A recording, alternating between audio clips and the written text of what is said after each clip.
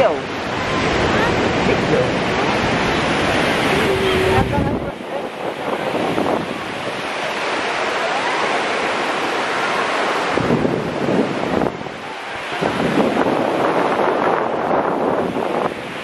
Ayan, pagtapos namin tumambay saglit sa beach, eh umalis na din kami. Pumunta kasi kami sa bangka na sasakyan namin kasi mag-island hopping kami! Let's go!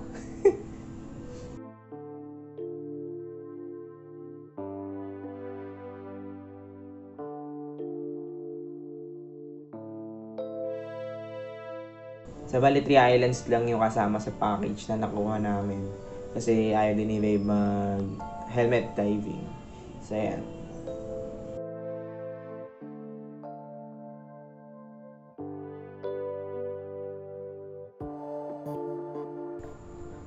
Ayan. Nakita niya dito marami ring bangka na nagiintay na kanilang pasa hero. Siguro mga island hopping din yung kanilang trip. So, ayan.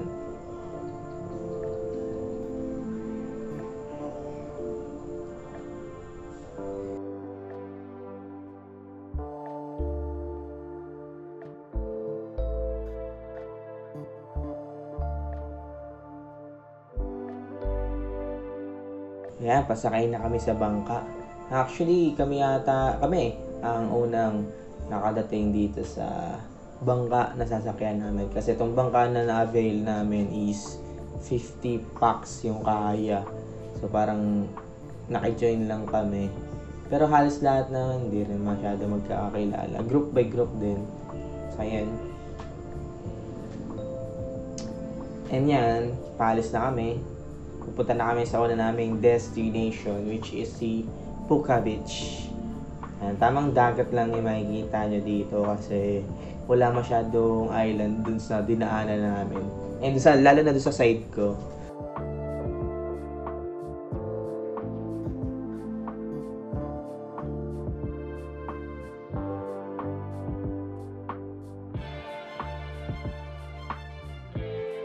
And yan, nakarating na sa Pungka Beach.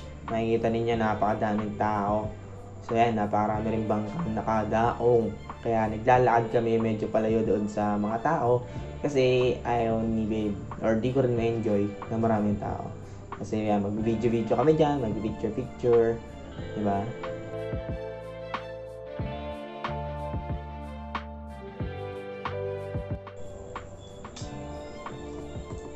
yun na nga, mayon na lang kami dito sa may side na to para mag-video-video.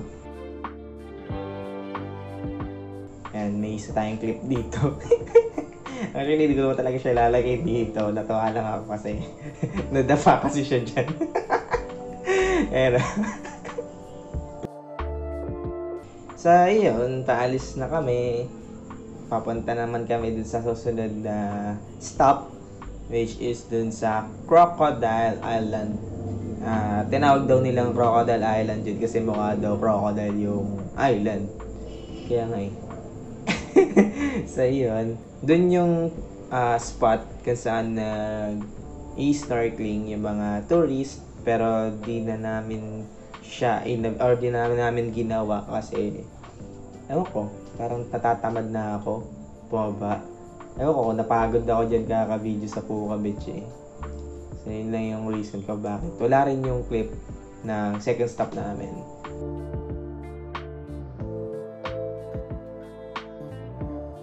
Medyo mahaba-haba nga pala yung biyahe papunta sa next stop. Kaya enjoy muna natin ang dagat at tignan ang isla mula sa bangka.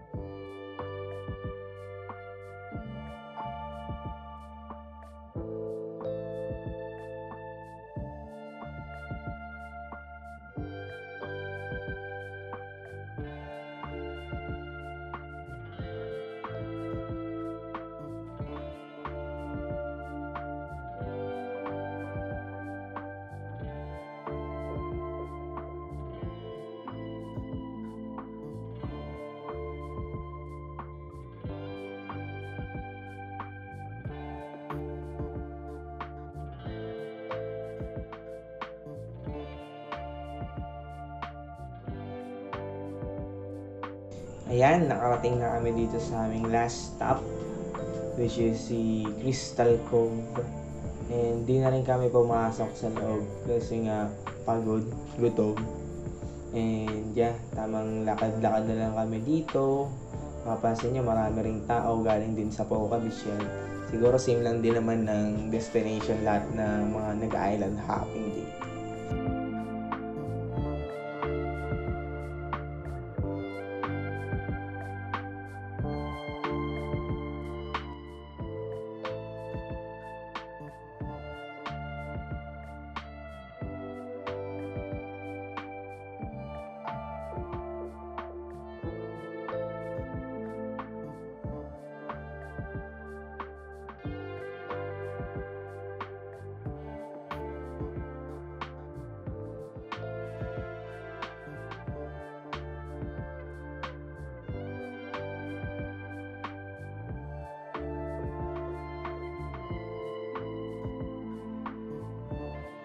Yan yan, makikita nyo dito.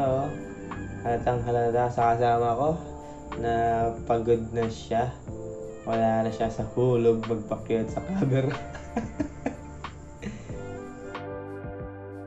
so, yun. Doon nga pala yung pwede ka mag-swimming. Siguro, ito na yung last part na yan. Thank you.